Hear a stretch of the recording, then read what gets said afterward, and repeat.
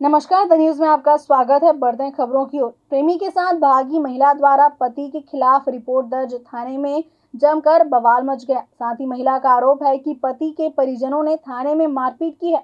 पत्थरों से चार पहिया वाहन को क्षतिग्रस्त कर दिया गया। साथ ही महिला की शिकायत पर पुलिस ने छह लोगों के खिलाफ अपराध कायम कर लिया है।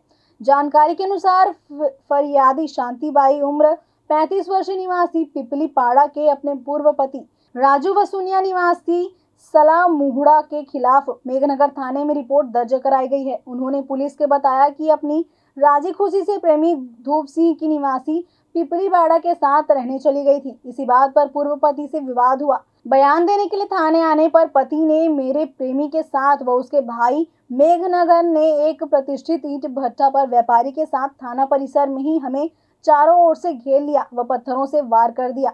इससे वो बोलेरो गाड़ी पूरी तरह से क्षतिग्रस्त हो गई। वहीं मुझे एक एवं मेरे पति एवं उसके भाई के सिर पर गंभीर चोटें भी आई हैं। ये लोग दो लाख की मांग कर रहे थे, जिसे मैं और मेरा प्रेमी देने में सक्षम नहीं है। बताया जा रहा है कि महिला के तीन बच्चे हैं।